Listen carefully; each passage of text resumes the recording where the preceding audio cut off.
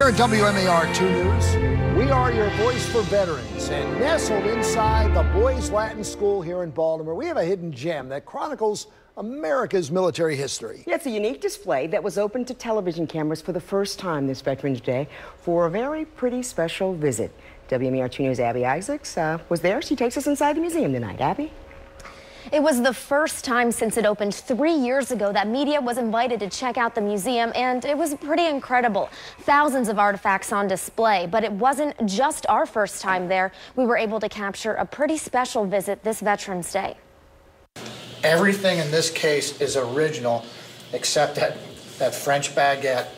From the uniforms down to a candy bar. Thousands of artifacts capture 200 years of history, from the Revolutionary War to the War on Terror. We devoted this to Normandy. And they tell the stories of veterans and active duty service members, like Major Gary Colbert. I had a tough time understanding how, like, you know, just, just little me could be in this museum among uh, such people, great people. I mean, some have who have died uh, serving this country, and, and it just it's it's very humbling. You get to see all the things that a common soldier would have had in combat situation. A collection that also stands out for where it's located at a Baltimore school. Curated for years by Butch Meisel, the Center for Military History at Boys Latin is the only museum of its kind on a Maryland school's campus. Uh, the lessons that veterans display for, uh, for us in terms of uh, their willingness to serve and to sacrifice on our behalf uh, are extraordinary, and we think that it's incredibly important to pass that on to the young men in our care. Headmaster Chris Post says it's not only for current students, but for graduates too.